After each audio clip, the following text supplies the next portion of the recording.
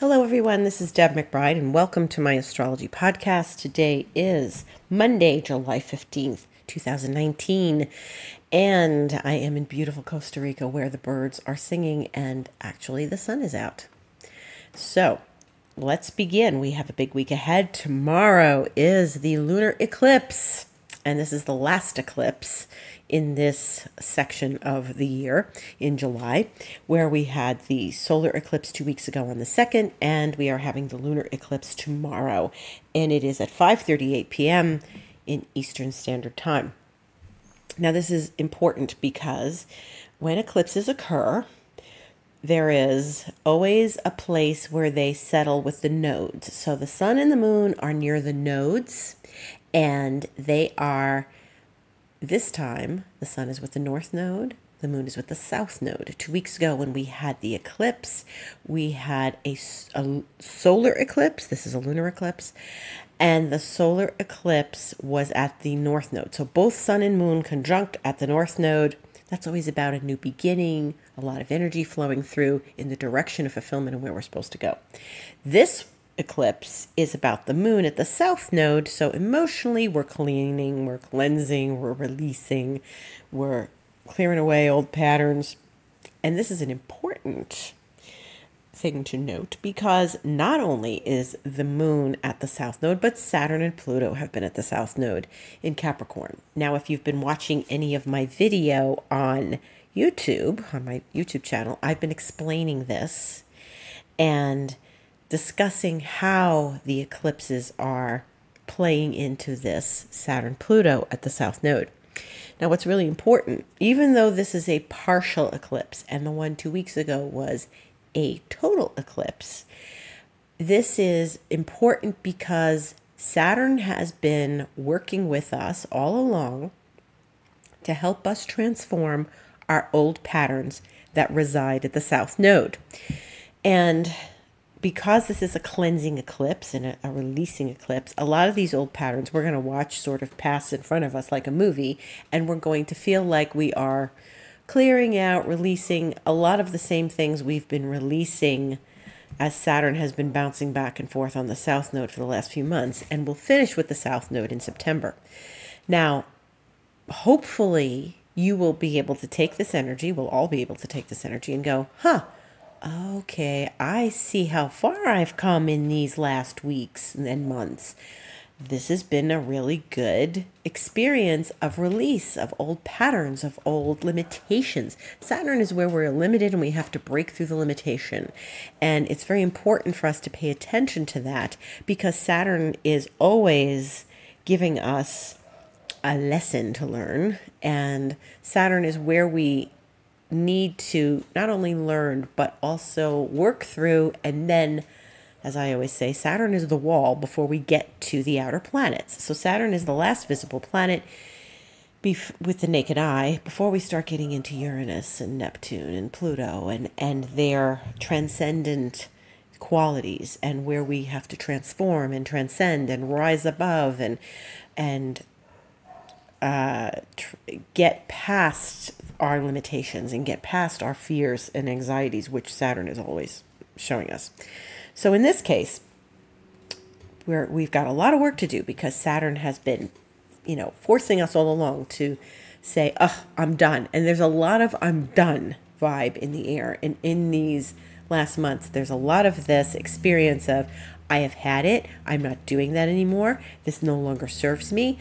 And where we can own our patterns and where we have been working through them rather unconsciously because that's what happens a lot with the south node. We're, we're a bit unconscious. And and we are not giving those patterns any more energy. And perhaps the best thing to say is that we're we're really taking our control and taking our power back because this is this is Pluto's job to help give us a powerful experience of our our uh, transcendence of limitations. And so Saturn and Pluto are going to be working with this eclipse, and that's very important because they are going to be on the Capricorn side of the eclipse where the actual lunation is happening in Capricorn. Because even though the sun is in Cancer and at the north node, it really is sort of blocking with the earth blocking the the earth blocks the sun's light on the moon and this is where the eclipse occurs but sun is in ca- cancer and it's been in cancer as we know all month and this is important uh, as we process what is an old pattern and we start to transform things now saturn and pluto i've been talking about all year and how we're using them to transform and how we're using them to rise above and how we're using them to change things in our life. But what's important tomorrow and emotionally important is that the moon is doing its little occultation dance. Now, if you've been following me for a little while, you know that I've been speaking that every month the moon hits this Capricorn place in the zodiac and it goes to Saturn and it goes to Pluto and the occultation occurs where the lights of Saturn and Pluto blink out as the moon touches them. And tomorrow is no exception. So this is very interesting because the moon is going through to hit Saturn first at 3:18 a.m. Eastern Time, and it's going to block Saturn's light. And then about 10 hours later, at 1:16 p.m. Eastern Time, the moon occults Pluto, which is you know, another occultation before the moon itself gets occulted from the shadow from the eclipse. So, complicated, right? Okay, let's explain. As you may or may not have heard on my past podcasts or on the video I made on YouTube, the moon comes along, touches Saturn, and this is not always the case, it just happens to be the case this year for long astrological explanations, which we won't get into. But the moon comes along and touches Saturn once a month in the sign of Capricorn. When it does this, it gives us a blink out of Saturn's energy, and then it gives us a blink out of Pluto's energy. And what happens when we're dealing with this is that they are no longer available to us for those moments. Doesn't mean forever, just means in that moment. Now, Saturn and Pluto, even though they are sticklers and intense and forcing us to get empowered, their lights go out, which means they're not available to us. And if they're not available to us, we're going to feel like, where did my transformation go? Wait, I was making progress. What happened? In those moments, it's time to step back and kind of look at what you have accomplished, what you've achieved, and don't be self critical about not being able to keep moving things forward. It's only because you're not getting the Saturn Pluto energy for that moment. It's okay. Don't worry about it. You're still moving. We're all still moving forward. We all have to keep moving energy. It's very important. But remember this once this eclipse is over, boom, then we're back on track again. And we're being reminded of where we're transforming. We're being reminded of how much work there is to still do. We're being reminded of, you know, how far we've come and where we've been in these months. And I bet if you stop and listen to yourself tomorrow and sort of take time for this, and I know it, these, you know, these things happen during either sleep time in certain portions of the world or work time in other portions of the world. It's a Tuesday, you know, so we we sit with ourselves if we can for some moments and try to you know meditate on how far we've come in these months it's very important to see this because otherwise you're going to go ugh saturn and pluto where you know I, I've lost their energy. I've lost the plot. I've lost my thread. Where am I? It's okay. Eclipse. This is this is eclipse energy. So in some respects, Saturn and Pluto are getting eclipsed, and then the moon is getting eclipsed. So the planet that's doing the eclipsing is then getting eclipsed later in the day. Complicated, right? Sounds it. Not as not as much as you might think. Take notes, pay attention, meditate, listen to yourself, watch the events unfold. And don't ever give your power away during this whole thing. Eclipses are intense and we feel them very deeply, but it's not about staying in that energy. It's moving it and and just keep moving just keep moving once the eclipse happens at 5:38 p.m. Eastern Time the moon will go void and then that's it so we can all have a rest in the evening on the on the northern hemisphere in the east coast you can all have a rest and the rest of the day the moon is void We're not going to get much more accomplished. A great time for healing, a great time for meditating, a great time for reviewing, because we're in Mercury retrograde, remember, reviewing everything that's happened to us in these months and in these last two weeks, especially. So, where does it put you? Where does it wind up? What do you need to change? What do you need to further address and work on? Very important. And so, what's happened then is that we've got this chunk of time for about 12 hours because the next morning on Wednesday, the 17th, the moon moves into Aquarius and we are no longer in the void. And so, because of that, we move into a fresh day with Aquarius and we are on our way to new and bright things. Now, what else is happening during this time is that the sun, of course, has been in Cancer, but it opposed Saturn last week. And if you remember that, we talked about that on last podcast. Last Tuesday, the 9th, it opposed Saturn. And that's like, okay, what that was so that was a little bit of tough energy. That was a work through. And then it opposed Pluto yesterday, the 14th. So remember what I said. This was last week. We move from Saturn, we then move to Pluto. Saturn is where we're limited, limit, limitations are shown to us. We see the limitations, we acknowledge them. We feel stuck. We sometimes feel stuck. But we have to remember it's just Saturn. And I have to admit, there were some days last week that were, I felt very strongly, I felt those limitations. I felt those fences around us. I felt that it was hard to break through. And then we move we navigated that sun to try Neptune Thursday, which was some grace. And then we move into Pluto, the sun opposing Pluto yesterday. And that was really important because it then allowed the transformation to occur. So we had some epiphanies, we had some transformations, we had Mars squaring Uranus last Thursday as well. So this was last Tuesday, Wednesday, Thursday were um, intense days, and they forced us through the pattern, forced us to move the energy, forced us to get out of our skin and to just keep uh, transcending what felt like limitations for us. You should have probably felt better by Friday when the moon went into Sag. It's ruled by Jupiter, and then things got a little lighter for the weekend. But the sun has made its opposition to Pluto. And while the sun is still sort of opposing Pluto during this eclipse, we are going to, you know, the, the peak of that is over. So we're going to experience Venus also because Venus is in the sign of Cancer. It has been close to where the sun is. It's following the sun's path. So Venus is going to be at the north node, very nice, during this eclipse. So that helps things. It helps us stay focused on fulfillment. It helps us stay focused on connection, relationships, um, what's important. But on Wednesday, Venus is opposing Saturn. So Venus is going to take the path that the sun just took. First oppose Saturn, then oppose Pluto days at later. And so when Venus opposes Saturn, there's always this relationships, people, money, stuff. Um, we have to think about where we feel limited in those areas, in our connections to people, in our relationships, in where we need to expand.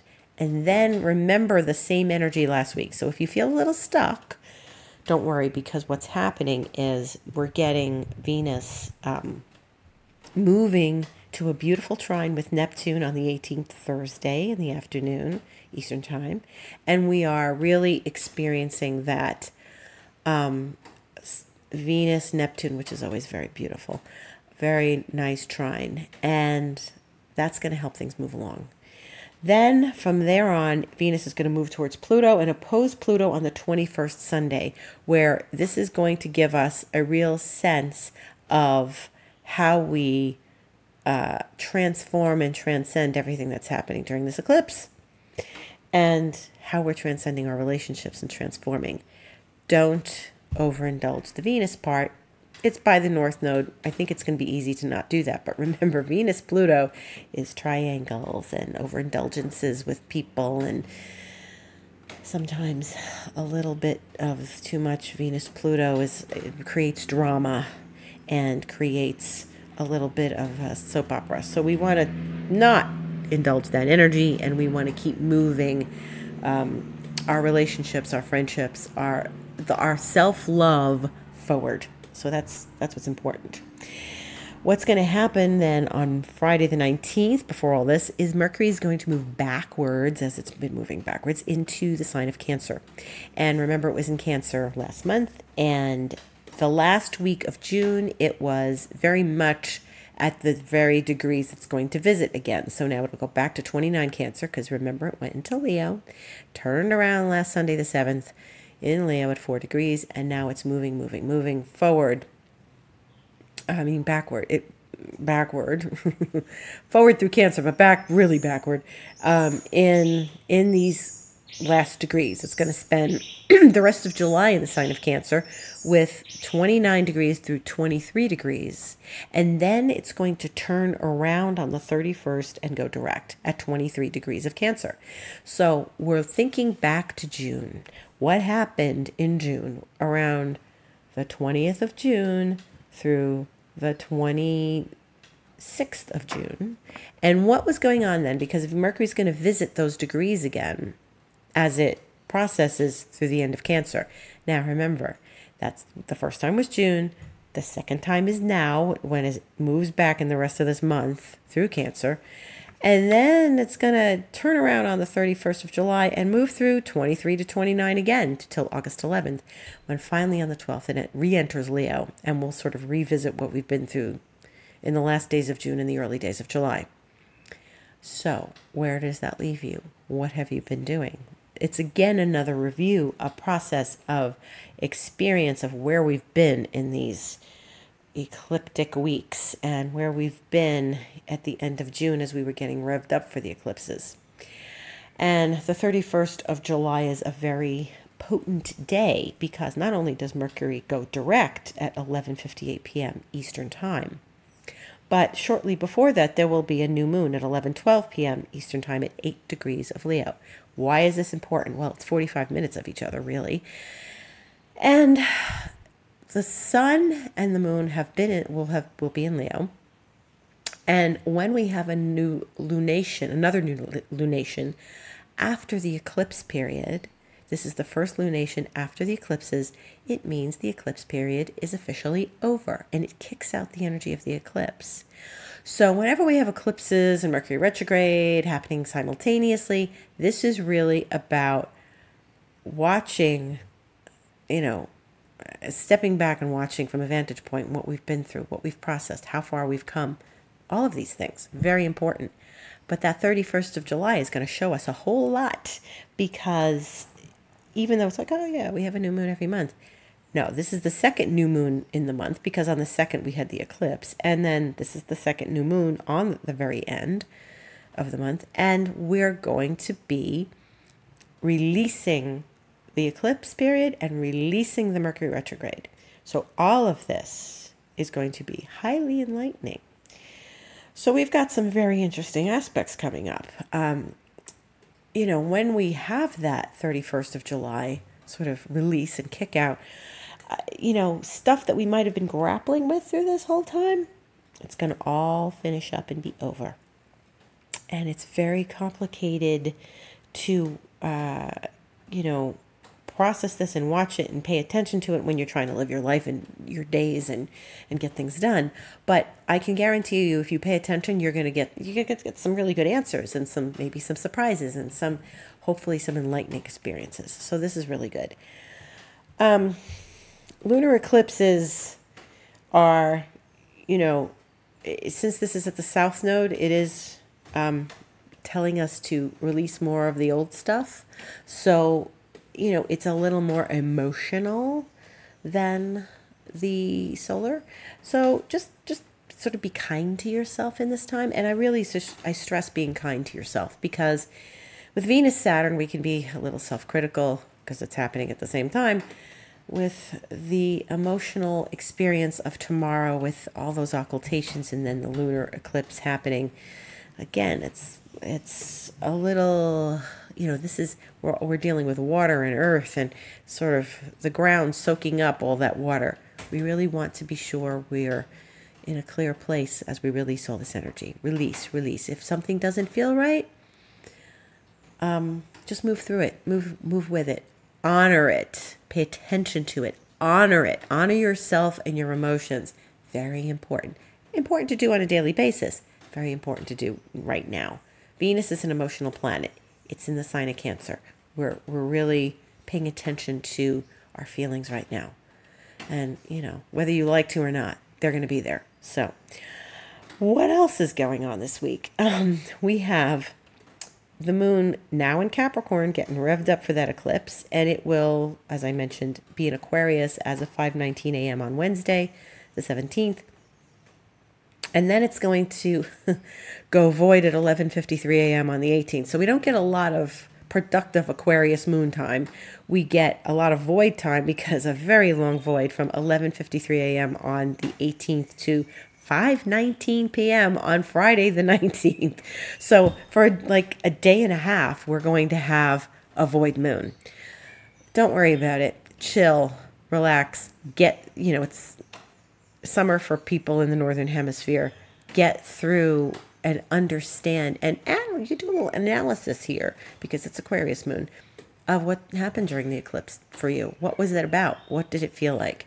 And for you going into that um, weekend, it's going to be a Pisces moon. So at 519 Eastern Time on the 19th, we have a Pisces moon for the rest of the weekend until we get to uh, Monday the 22nd when it's void in the middle of the night for just a couple hours and then it goes into Aries. So we start fresh on the 22nd with an Aries moon, and then later that night the sun goes into Leo. So all sorts of fire we're starting with next week, the beginning of next week, and we're going to start feeling very different. All this emotional stuff, all of this swimming, watery stuff that we've been experiencing, it's going to lighten up a little bit. But this weekend coming, next weekend coming, is going to all be about water because remember, Mercury's going back into Cancer. The moon is going to be in Pisces all weekend. The sun is going to be getting ready to leave Cancer and really have that um, you know, those last degrees of a sign are always like the most intense, the most potent of the energy of the sign. So I can expect a lot of feelings coming forward, a lot of emotions, a lot of sensitivity.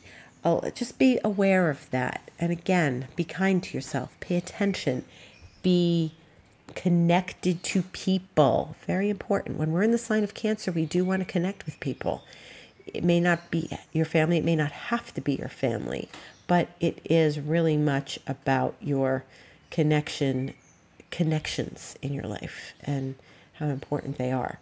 Um, and then the Sun and Mercury are going to meet up at the end of Cancer at that potent degree of 29 degrees on the 21st, Sunday.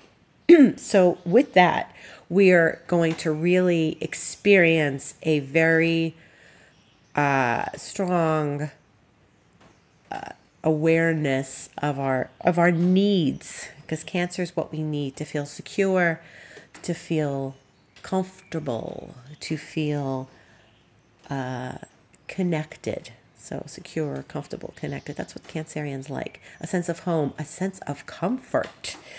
So when that moon is in pisces over the weekend try not to and you've got so much cancer happening try not to overindulge.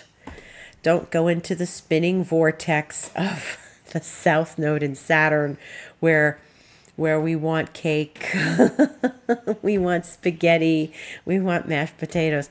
Cancerian energy is very comfort oriented and comfort food oriented. So you can have a little bit, but don't overindulge.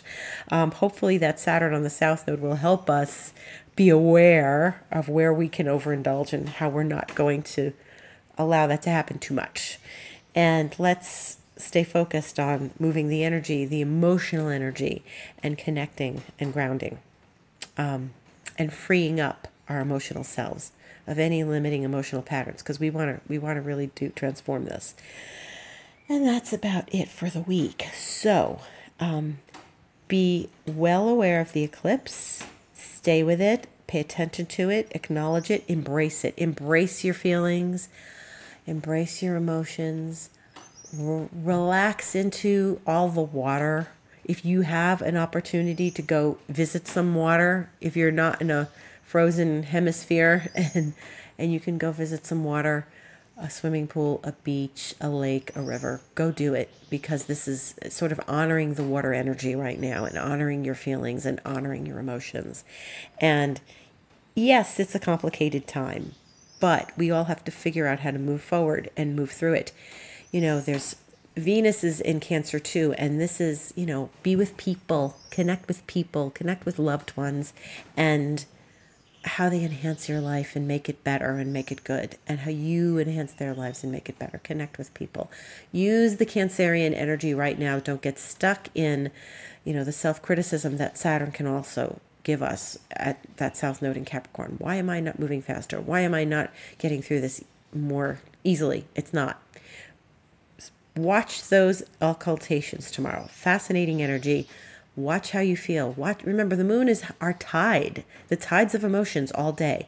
Watch how you feel.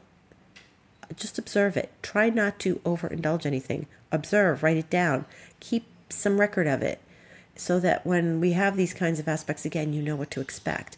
And it's a good place to stop and watch where how far you've come in these last months. Okay? So, in that respect, I bid you a lovely eclipse and a beautiful week. I'm Deb McBride. This is my astrology podcast. You can reach me for an astrology session, especially during these intense times. It's good to have an astrology session. Um, and my email is deb at debmcbride.com.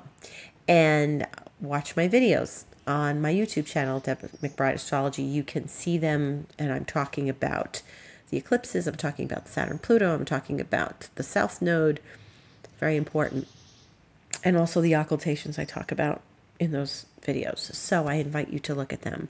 My Twitter and Instagram handles are at Deb Astrology. And I will be back in a week to discuss how much more we're working with astrologically and where the best intentions go and where best to use your energy. And have a lovely week and thank you so much for listening.